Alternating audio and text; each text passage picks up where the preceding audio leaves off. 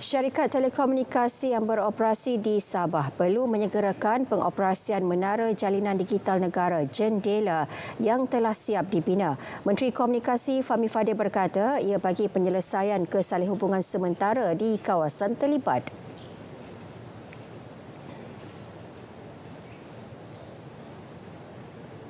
ada yang akan menunggu pemasangan gentian optik tapi ini akan makan masa jadi saya minta supaya dipasang peralatan microwave uh, untuk membolehkan menara-menara ini digunakan segera.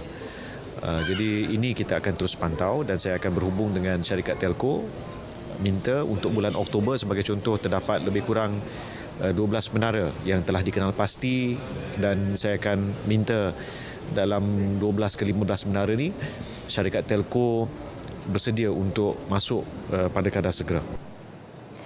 Sementara itu, Fahmi turut memaklumkan 2,700 lokasi telah dikenal pasti untuk pembinaan Menara Jendela Fasa 2.